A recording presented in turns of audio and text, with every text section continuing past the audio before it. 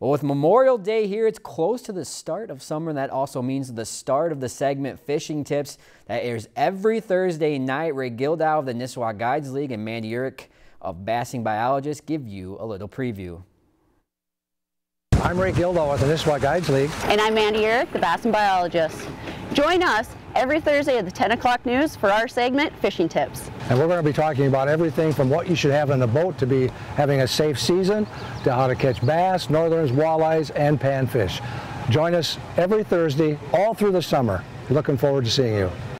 Like Ray and Mandy said, the first segment will air this coming Thursday, June 1st after sports and will feature 15 total tips throughout the course of the summer.